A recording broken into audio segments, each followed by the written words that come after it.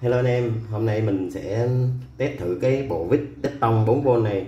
À, Bây giờ mình đang có cái giường cần tháo, mình sẽ sử dụng cái bộ vít này để mình tháo nha. Ở trong này nó có rất là nhiều phụ kiện nha anh em. Đó, cái này là đầu à, những cái con ốc vít này là đầu ba ke nên là mình lấy cái đầu ba ke để mình mở ha. Rồi, vô.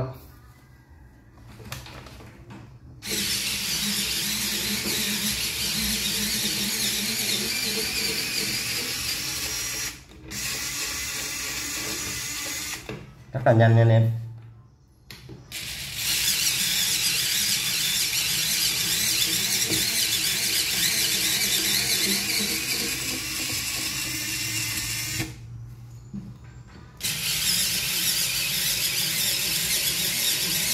Con Covid này giá của nó hiện tại chỉ có 489 nghìn thôi nha. Anh em nào quan tâm thì anh em click vào trong phần giỏ hàng của tiktok nha. Rồi, cảm ơn anh em.